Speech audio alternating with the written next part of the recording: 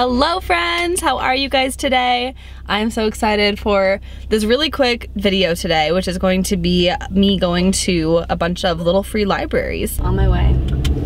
As you can tell by the title, today I'm going to go to little free libraries that are around my neighborhood and around my city. I live in Nashville, Tennessee. I'm using an app I'm just driving in like really slow on um, my street so I don't feel like I'm being dangerous by doing this and driving. So if you don't know what a little free library is, that's pretty much like and I think this is the best way to explain it. It's a little bird box slash mailbox that's like full of a bunch of books and you leave a book that you don't want anymore and then you take a book that somebody else has left there. I've always passed by these when I'm like walking or when I'm just driving but I never actually stop and do anything with them because I feel like I'm just not prepared to like leave a book or take a book.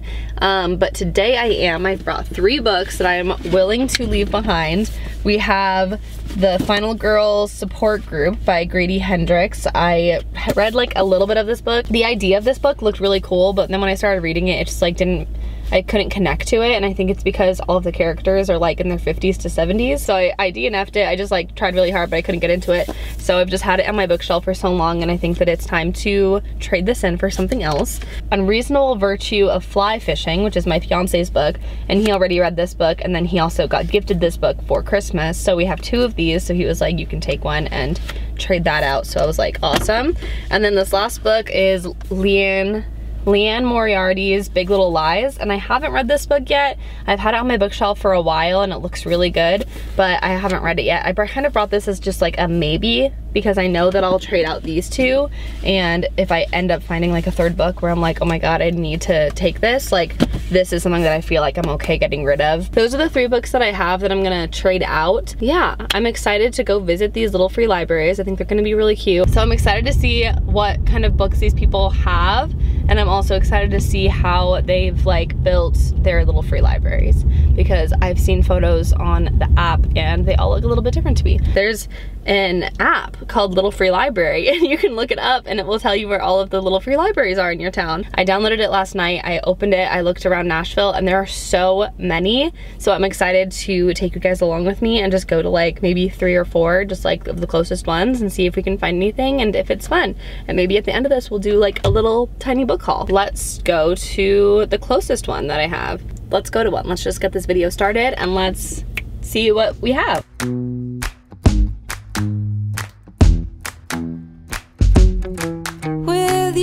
Sun is shining 24 7. Cause when we're together, it feels like we're in heaven. If it will get dark, you'll be my million stars. I know I can lean on you. Ooh, you catch me like a leaf falling from a tree. If I be a shooting star, you make a wish. No, I don't fake this kind of feeling. Never felt so.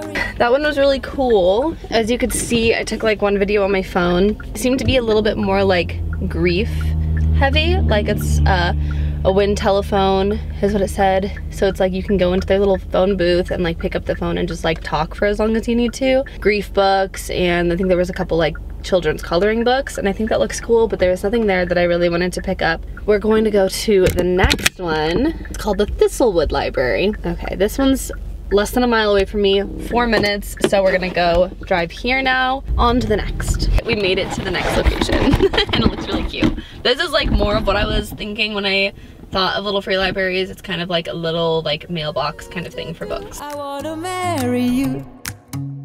Cause when you're around, I know it's true. You make me feel is so good, baby. So good, so good. Every single day we spend apart, I wanna be with you. Okay, so that one was really cute. Definitely the kind of vibe that I was thinking of when I first started thinking about little libraries. I did find Little Women and it was really, like I was so tempted to take it, but it was um, not the kind of version that I feel like I would want. And this one is only three minutes away. All of these are so close together. This is adorable. Um, so yeah, let's go to this next one.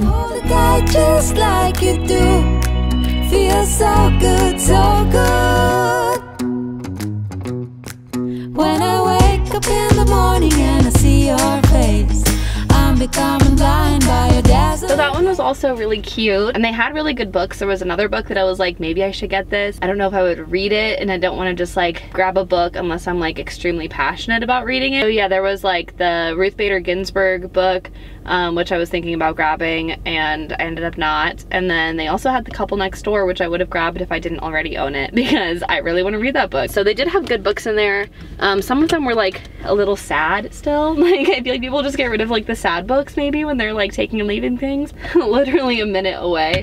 So let's go to this one and see if we have any better luck and hopefully we can find at least one book to take home. Okay, we made it to the next one and it looks really cute. I parked on the side and I'm already seeing some brightly colored books in there and so I have high hopes because the covers look cute. There's nothing else I wanna do. Ooh, from the fields of flowers you chose to pick me. You're spreading sugar on my misery, and I don't fake this kind of feeling. Never felt so real. Okay, so that one was um, also great. They were a lot of books that I was really tempted to take because it was a lot of fiction in there and I love fiction books. Um, there was The Impossible Fortress, I think is what it was called, and I looked it up and it looks really good and people on Goodreads seemed to like it and the cover was really cool and it was published in 2017. So there's a chance I might come back and grab that one, but I want to check out the other free libraries first, just because that one looked like a little bit disheveled and some of the books were wet because the like the glass cover like the glass door um, to protect the books of the little free library is gone. I don't know if I want to leave any of my books there but I also don't want to take a book and not leave something. Awesome. And this one is only three minutes away so we'll be there and hopefully we can find a book. And I'm just happy to be doing this and I'm excited that there's so many of these all close to me.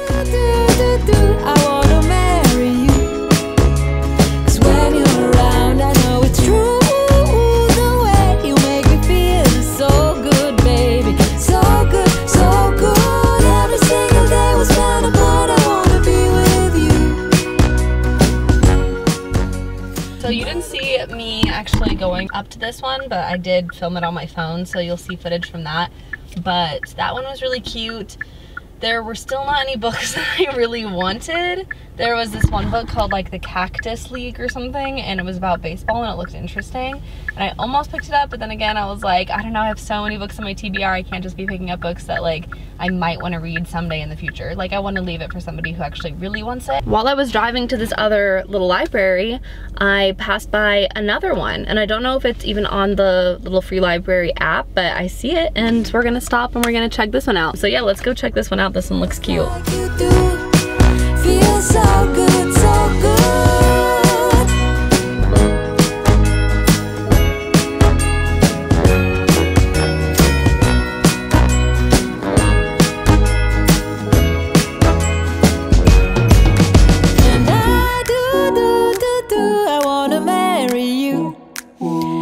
Cause when you're around, I know it's true make me feel so good. Okay, I finally found one.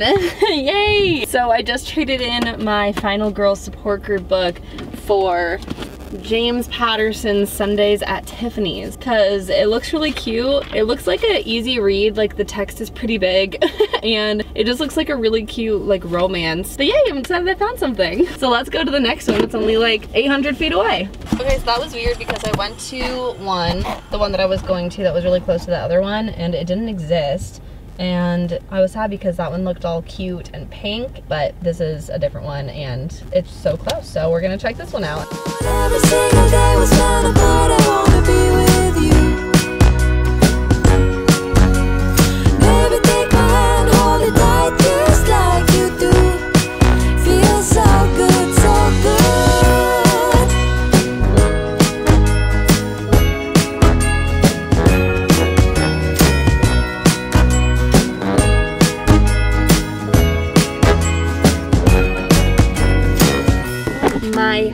God.